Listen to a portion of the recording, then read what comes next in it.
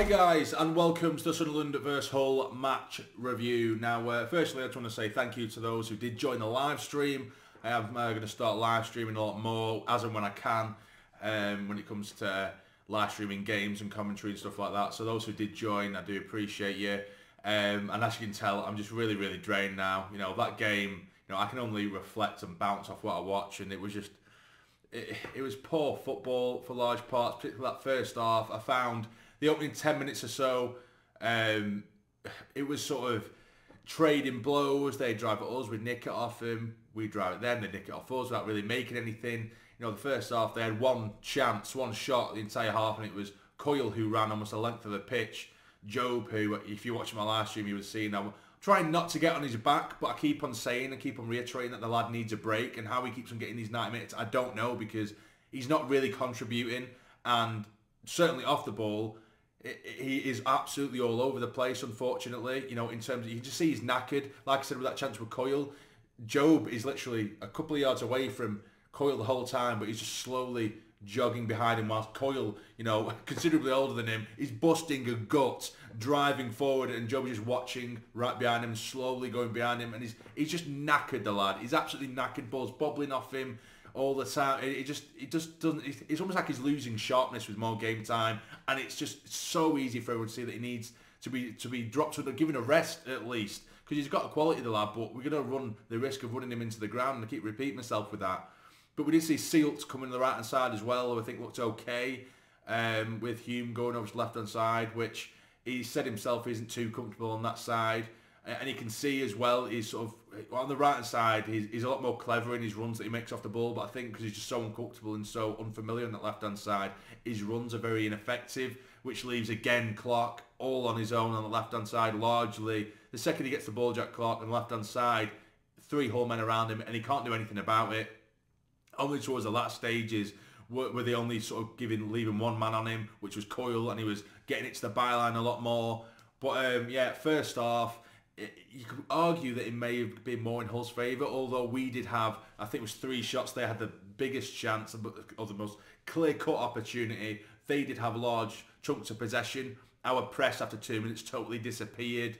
Um, you know, there's one time where Pritchard did just fling himself forward, you know, firing um, along the along the back line, trying to run off the ball. He's looking at the rest of us like going like, come on, what are you doing type thing? And everyone's just kind of slowly walking about and it just it just was again no one's on the same wavelength. Second half, we actually looked a lot better in terms of controlling the play, dominating the play, and even though we were screaming out for subs to be made, he took an absolute fucking age yet again, Beale, to make substitutions.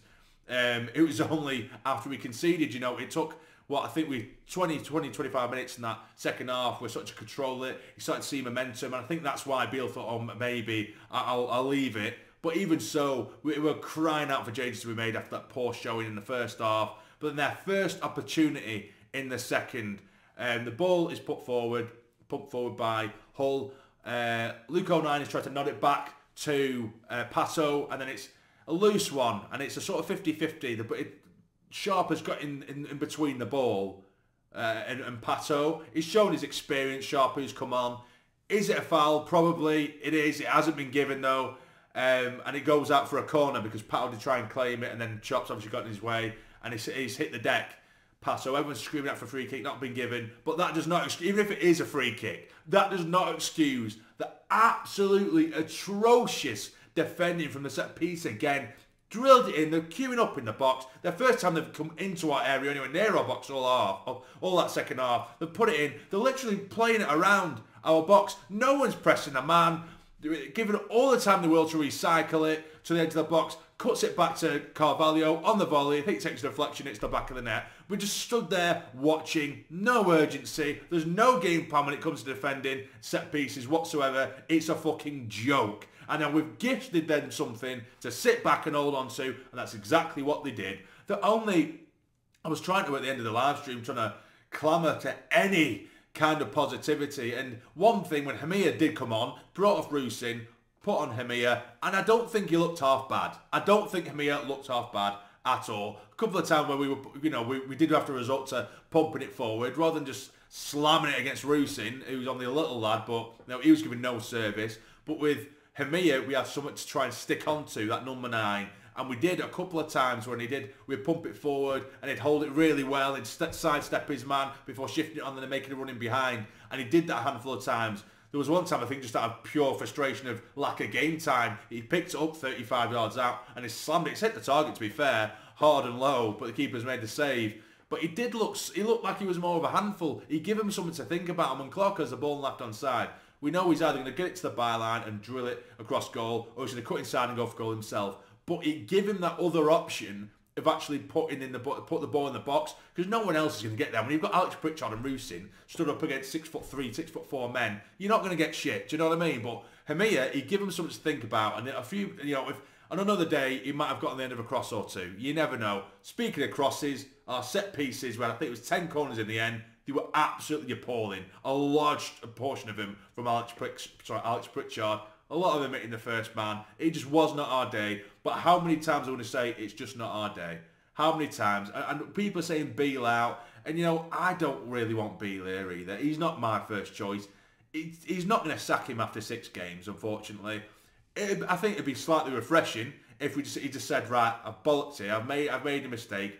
Right, here we go. I'll admit to it put someone else in. But that's not going to happen. Uh, uh, sadly, as much as we might not have wanted Beale, and, and you know, I've never seen so much negativity, and, and myself, I've, I've contributed somewhat. You know, I've never seen a, a, a manager or a coach appointed to be greeted with such negativity ever, and I think that speaks volumes. And I've seen in my live stream as well, some saying, you know, Tony Mowbray should never have been sacked. Some anyway. But I, what it is, it's two separate things between should Mowbray have been sacked and should Beale have been appointed. Those are two separate things. I believe it was time for a change when Mowbray was sacked. It was time for a change. Do I think it should have been Beale? No, I don't. But he's here, and sadly, I'd, if we're even if we were losing games, and I could see that he was trying to implement something. Granted, I know it's only been six games, but if I could see, oh yeah, he's trying to do this, uh, then I'd be like, oh, okay, right, maybe with a few more games or however many weeks, whatever, maybe that'll start working. I can't see anything. If anything, there is zero game plan. Nothing. Plays up miles off it. We're regressing from when we was with Mowbray. Um, there doesn't seem to be a real game plan. It's like he's just putting an 11 out there and seeing what happens and seeing what sticks and nothing is, which is a massive, massive concern. So we've been beaten by Hull, who, you know, fair play to them if we, I was saying it again, and I keep making reference to the live stream, but when it was nil nil, you know, to that, I probably would have taken a draw had you know, because Hull were, you know, so far the season they've been fantastic. But Hull, they come to the stage of like losing four out of the last five. They've got Delap missing. They've got Seri missing to AFCON. They've got Connolly, who's been brilliant this season for him, missing. This was the ideal time to meet Hull. And again, I said, Sunderland are the team that when there's a team that need, they need a duck breaking, needs to break a duck, Sunderland just bend over and say, there you go, lad, take it. And that's exactly what we've done yet again. So we've fallen further away from the, the pile now, from, from the top six. Uh, I think we've dropped to eighth now, I believe, seventh or eighth. Um, with all the games to be played tomorrow, of course. Um, and it's it's hard to try and stay positive with a team that it just should be doing so much better. We need players.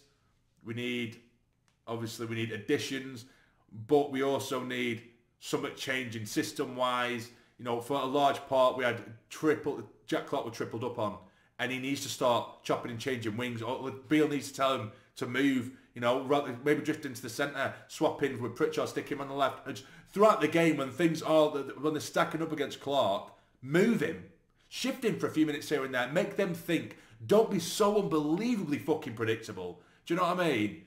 But there we go. I feel like I'm just beating a dead horse at the minute. 1-0 to Hull. Phenomenal work, guys. Oh, can't be arsed. Let me know what you guys think in the comments down below. Let me know. Hit the like button for me. That'd help. That'd put a smile back in my face. Uh, take care. Stay jammy. Have a good one.